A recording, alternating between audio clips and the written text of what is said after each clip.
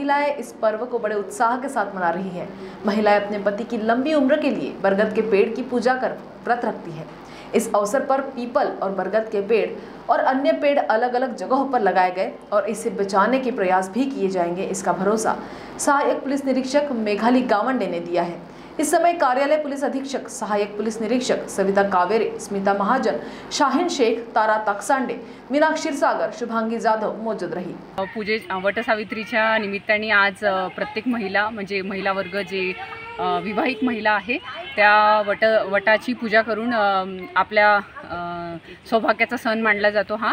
आणि त्यासाठी हा सण मनवतात. परंतु आम्ही पोलीस अधीक्षक कार्यालयातील महिला आणि कर्मचारी तसेच ए सी एफ शपकत आमना मॅम आम्ही सगळ्यांनी मिळून हा निर्णय घेतला आज की आपण वटाच्या वटाची पूजा करण्याऐवजी वडाचे झाड तसेच पिंपळाचे झाड आणि जांभळाचे झाड वगैरे असे मोठे जे चोवीस तास ऑक्सिजन देतात असे झाड लावून पर्यावरणाचे संरक्षण करू.